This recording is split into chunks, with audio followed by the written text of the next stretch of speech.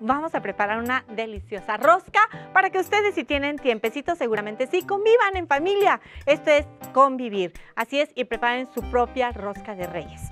Y primero me gustaría mucho leer nuestro pan de vida, pero quiero que Mona nos acompañe también. ¿Está bien? Vente, Monita, porque las dos debemos leer. Claro Vente, que chiquita. quiero. Vente, Qué vente rico. para ¿Me acá. puedo Ah, ¿te lavar las manitas? Y yo me hago para, ¿Para acá. qué? ¿Sabes Gracias. qué? Porque vamos Mientras- a ocupar las manos, ¿verdad? Mientras leo, sí, claro, por supuesto. Voy a leer nuestro pan, de vida. vida. Dice, aceptar la forma de ser de otros es tolerancia. Buscar su bien a pesar de cómo sean es amor. Y lo creo.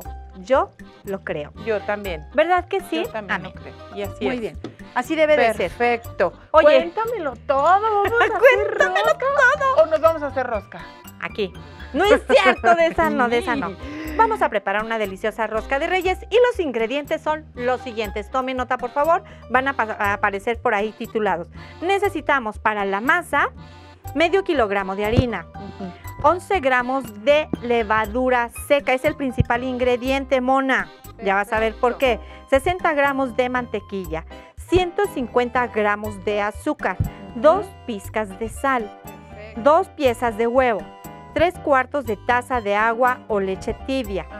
Una pieza de naranja. Y ahí nos vamos a quedar con esos ingredientes. Tenemos otros que más adelante les vamos a dar que son para decorar. Para la decoración. Pero para que no se hagan- Para que no se hagan bolas. Sí, para que no se hagan bolas, vamos que, a... que ya bien que sabemos, bien que sabemos. Bien que sabemos, sí, porque bueno. la hemos comido toda la vida, pero qué bueno, Sí. ¿no? Oye, yo quiero agradecer a los hermanos Mora, Sí. a Roberto, a Ivonne. Y a Ivonne. Pues ellos son quienes nos enseñaron a preparar esta deliciosa Sí. rosca, ¿sí o no? Claro que sí. ¿Usted recuerda al chef Roberto Mora? Bueno, pues Ivonne también se le da muy bien la cocina. Ivonne es nuestra no, no, asistente de producción. Muchas gracias. Y saludos a toda la familia Mora. Toda la Oye, familia. bueno, ¿ya estás lista? ya estoy. Muy bien. Harina, aquí. Harina, vamos a hacer una fuentecita, ¿qué te parece? Sí, ¿Cómo se exactamente. hace la fuente? Cuéntamelo todo. Allá en la fuente había un Pues chorrito. hace. Oye, esto con los niños es maravilloso. Sí.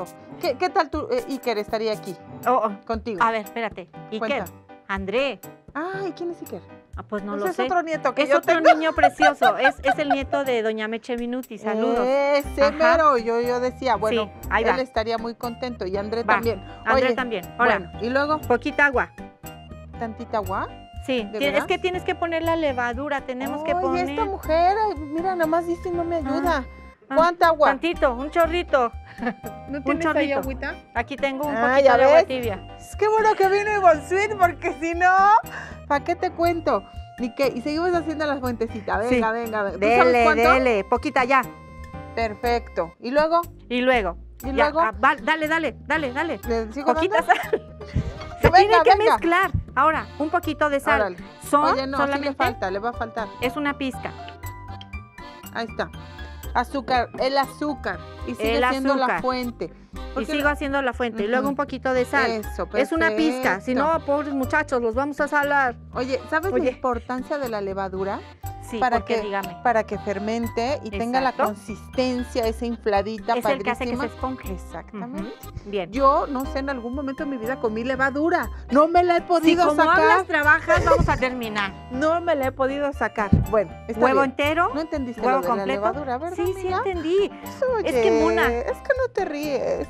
Mire, Bueno, Eh, ahí está. a ver, productora, Mona quiere que me esté riendo todo el tiempo, pero Todo el estamos tiempo. cocinando. También hay que reírse acá.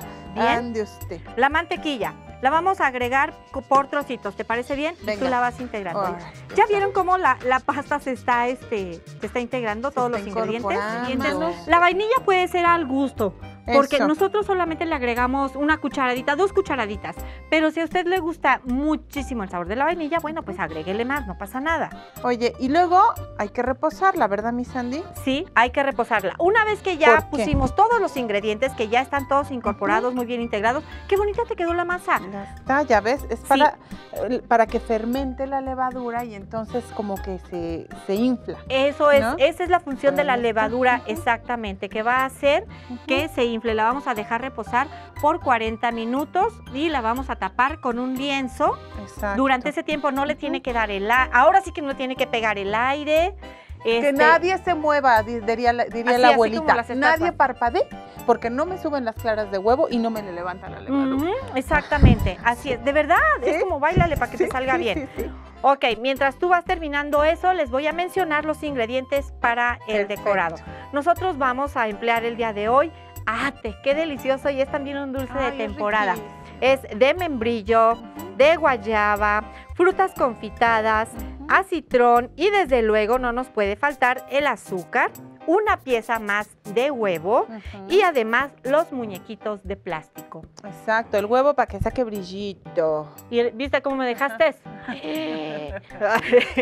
es que les iba a comentar cuál es el significado de, de- de lo que es la rosca La en sí. rosca. La rosca, ok. ¿por qué es redonda? ¿Tú lo sabes? ¿Ustedes lo saben por qué es redonda?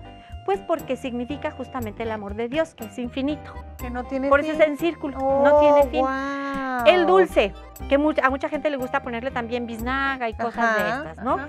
¿Qué significa? Bueno, pues las joyas de la corona, del rey, de nuestro rey, nuestro rey celestial. Perfecto. Y el muñequito tiene harina en la nariz y en la barba. Acá Tiene, voy a decir Sí.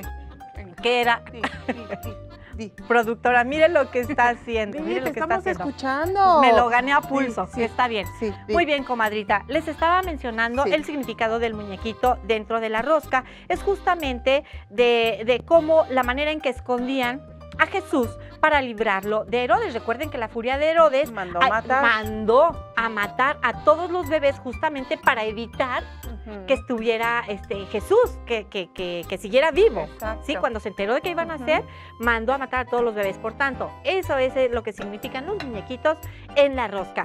Finalmente, cuando la partimos, ¿a quién le sale? Bueno, pues se vuelve el padrino de este niño, Exacto. ¿no? Muy de este bien. muñeco, de este De muñecazo. este muñeco. Ujú. Y los tamales. y los tamales. Porque no falta pretexto para que en México comamos y comamos y comamos y sigamos y comiendo. sigamos comiendo, todavía nos falta muchísimo. los tamales. Sí. Tocaron los tamales y te tocó el muñequito. Te tocó el muñequito. Y entonces aquí ya hay una fermentada, un poco infladita, todavía tiene que inflar el doble, Muchísimo pero por más. cuestiones de televisión, de Vamos tiempo, a hacerlo rápidamente, Mona.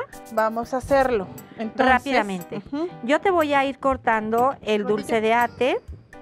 ¿Te parece bien? me parece Oigan, perfecto. chiquitines, ahí les va una pregunta en, los que, en lo que vamos cortando el dulce y, y Mona va a empezar a decorar, a formar la esta. ¿Ustedes saben de dónde venían los tres reyes magos? Cuéntame, ¿dónde Ya venían? sabemos que venían de su casa. en un- en ¿no? un caballo, en un camello y en un elefante.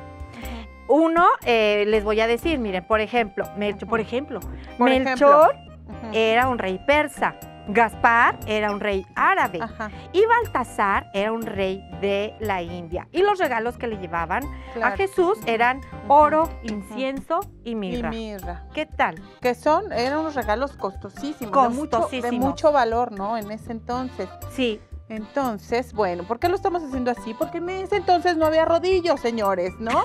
Y entonces claro, con la manita. hay que sacar de todo. Ya es hora de que te ensucies, reinita. ¿eh? ¿Ya? ¿Me es voy a de que te ensucies. Mira, es que, hijo, mano, de veras. Ok. Hay que hacerlo larguito. Comadre, Te quedas larguito, terminando, comadrita, porque yo voy a hablar, larguito. ¿sabes de qué? ¿De qué vas a De hablar? la cuesta de enero, No me chiquita. digas. ¿Gastaste de más? Ajá. Pues espe- escucha, escucha No lo gasté que de más porque no compré el rodillo. Ahí man. te ves. Entonces gasté Adiós. de menos. Bye. Órale, sale, Chao, bye. chayito.